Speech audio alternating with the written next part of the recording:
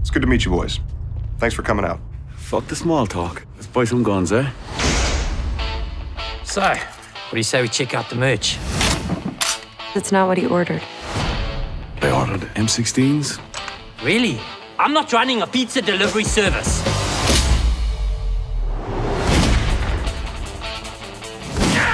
A fucking suit! Oh, now we're cooking! Go for the case. You're a bird, they're not gonna shoot the bird. You get the fucking case! Ooh. You smell it? Perfume! It's beard oil! Damn dust stinging up my allergies. I forgot whose side I'm on! Oh, you seem like a nice girl. We can't all be nice girls.